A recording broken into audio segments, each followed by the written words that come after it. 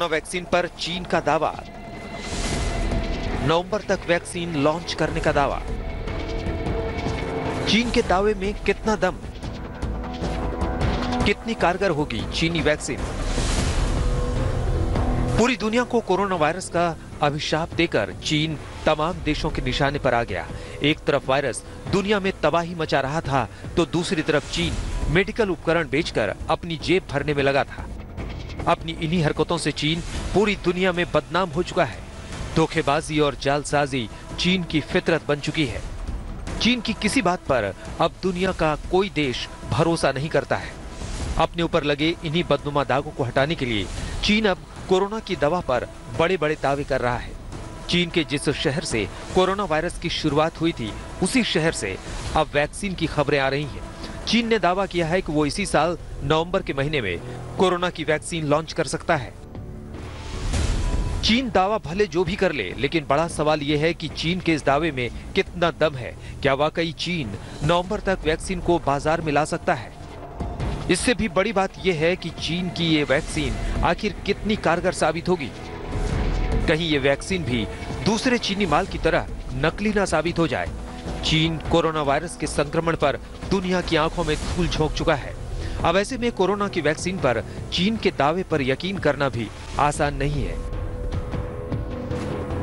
चीन के centre for disease control and prevention, यानी सीडीसी ने दावा किया है कि नवंबर तक कोरोना की वैक्सीन आम लोगों के लिए उपलब्ध हो जाएगी। चीन में चार कोरोना वैक्सीन आखिरी चरण में है। इनमें से तीन वैक्सीन को मेडिकल स्टाफ को दिया जा चुका है। सभी वैक्सीन के तीसरे चरण का क्लिनिकल ट्रायल चल रहा है। क्लिनिकल ट्रायल के नतीजे संतोषजनक हैं।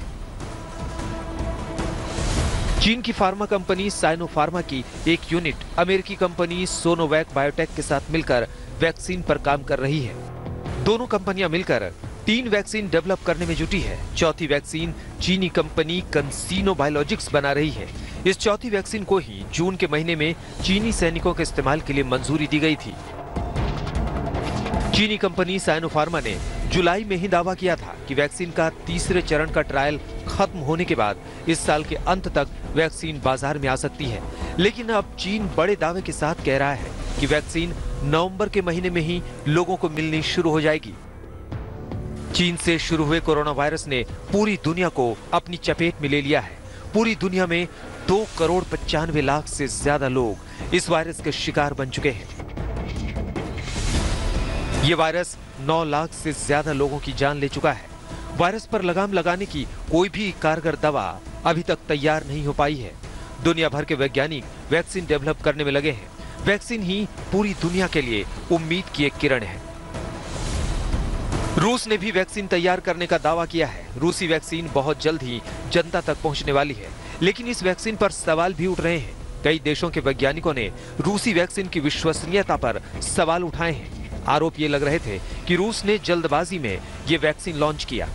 हालाँकि रूस का दावा है कि उसकी वैक्सीन पूरी तरह सुरक्षित है। इस नाजुक वक्त में पूरी दुनिया को वैक्सीन की ज़रूरत है।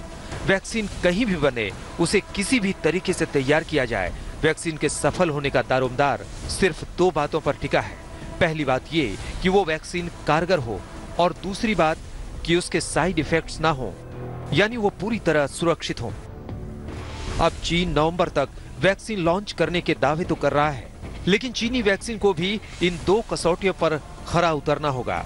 अगर चीन वाकई में नवंबर तक ये कारगर वैक्सीन लॉन्च कर देता है तो ये पूरी दुनिया के लिए एक राहत का पैगाम होगा।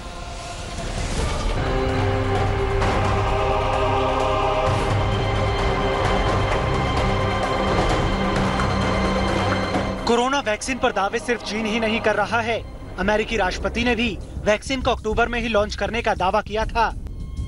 डोनाल्ड ट्रंप ने कहा था कि अमेरिका में राष्ट्रपति चुनाव से पहले ही वैक्सीन तैयार हो जाएगी, लेकिन अक्टूबर में वैक्सीन लॉन्च करने के बयान पर ट्रंप अपने ही घर में घिरते हुए नज़र आ रहे हैं। अमेरिका में नवंबर में राष्ट्रपति चुनाव होना है। ट्रंप दावा कर रहे हैं कि इस चुनाव से पहले ही वो अमेरिकी जनता के लिए वैक्सीन उपलब्ध करा देंगे।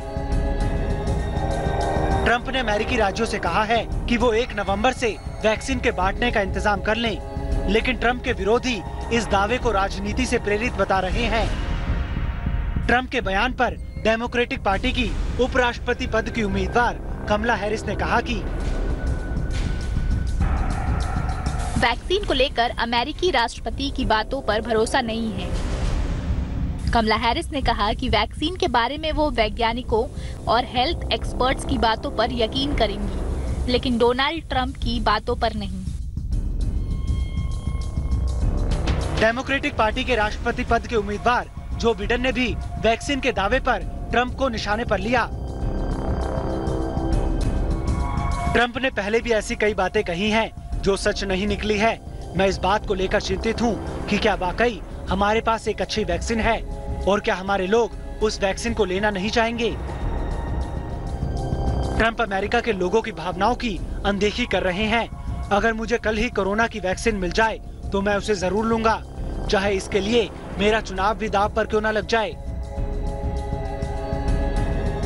ट्रंप के दावों को सिर्फ़ सियासी गलियारों में ही चुनौती नहीं मिल रही है। मेडिकल जनरल द लेंसेट ने दावा किया है कि अक्टूबर तक सार्वजनिक उपयोग के लिए वैक्सीन उपलब्ध नहीं हो पाएगी।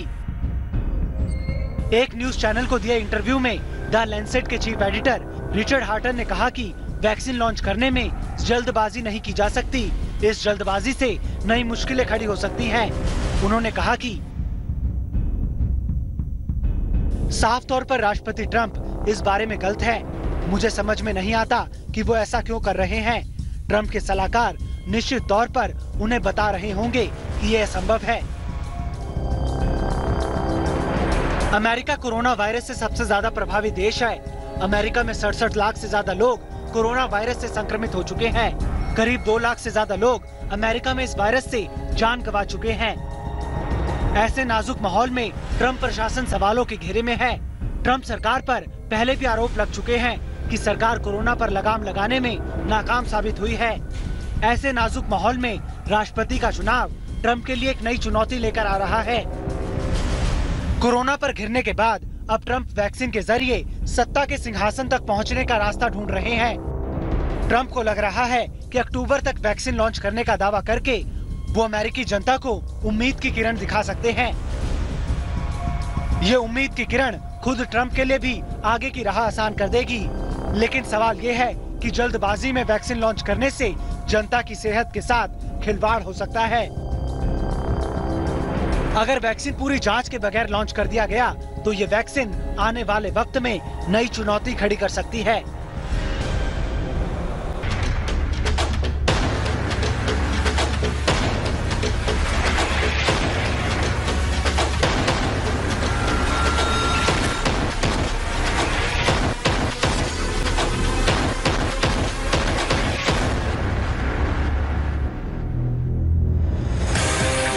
ड्रैगन के पास वायरस का जखीरा।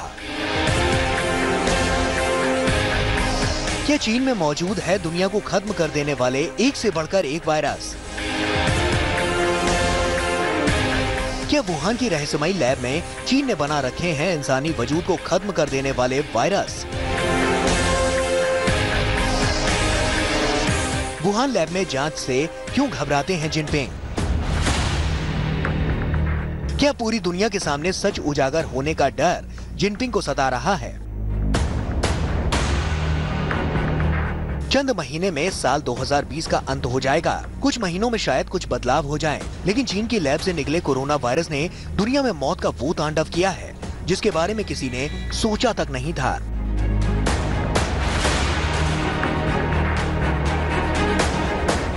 चीन से पहले इस वायरस को लेकर तमाम तरह के सवाल उठे, शक किए गए। कहा गया कि ये चीन की गलतियों का नतीजा है। लेकिन कोरोना कब, कहाँ से और कैसे फैला अब तक इस पर पुख्ता तौर पर कुछ भी नहीं कहा जा सका।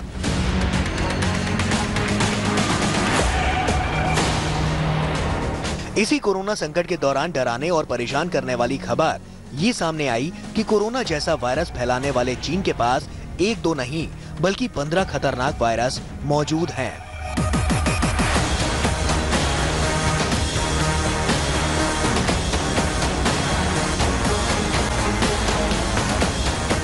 और ये सभी पंद्रह खतरनाक वायरस चीन के उसी वुहान शहर के उसी लैब में मौजूद हैं, जहाँ से कोरोना के फैलने की बातें सामने आई। वायरस का ये जखीरा उसी Wuhan institute of virology lab में रखा है, जहाँ से कोरोना का ये वायरस फैला था। चीन के उस लैब में मौजूद 1500 से ज़्यादा वो जानलेवा वायरस हैं, जिन पर बाकायदा रिसर्च चल रही है। अब जरा अंदाज़ा लगाइए, अगर कोरोना के वायरस की तरह बाकी वायरस भी लैब से बाहर निकल आए तो क्या होगा?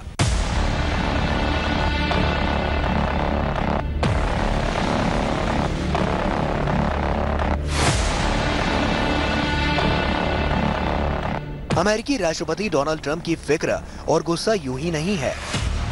कोरोना वायरस जैसी महामारी के बीच ऐसी तमाम रिपोर्ट्स सामने आ चुकी हैं, जिनमें यह दावा किया जा रहा है कि चीन की जिस Wuhan institute of virology lab से कोरोना वायरस के निकलने की बात कही गई, दावे के मुताबिक इस लैब के एक बड़े फ्रिज में इन जानलेवा वायरस का एक बैंक बना हुआ है, जहाँ इन्हें सहेज कर रखा गया है।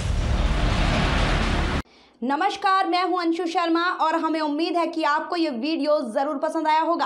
ऐसे ही बाकी वीडियो देखने के लिए देखते रहिए द इंडियन समाचार और वीडियोस पसंद आने पर हमारे चैनल द इंडियन समाचार को लाइक, शेयर और सब्सक्राइब करना ना भूलें।